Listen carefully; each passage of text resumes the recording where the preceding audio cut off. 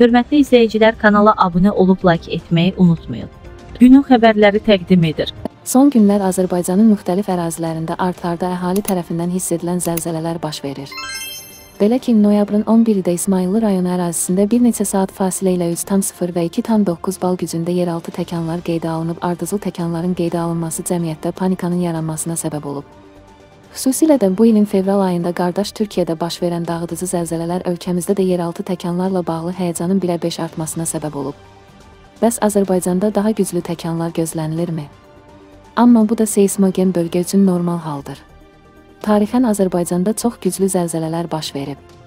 Buna Şamaxı, Gəncə, Ağsu, Göyçayda baş verən zəlzələləri misal göstərə bilərik. Belə ki, bu ərazilərdə vaxtilə 8-9 bal gücündə zəlzələlər olub. Hətta Göygöl məhz güclü zəlzələ nəticəsində yaranıb.